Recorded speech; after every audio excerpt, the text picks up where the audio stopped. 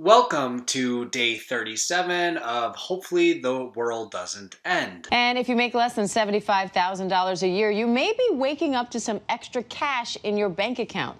$600 COVID relief payments went out overnight via direct deposit, and paper checks are going out today. A $600 stimulus check has been passed.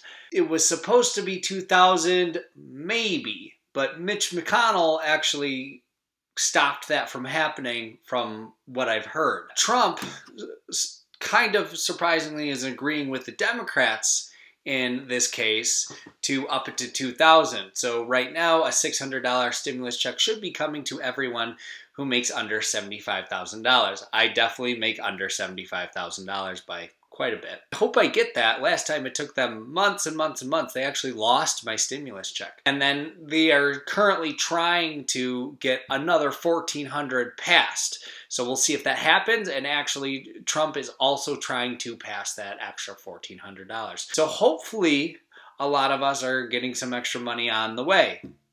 We'll find out, I guess.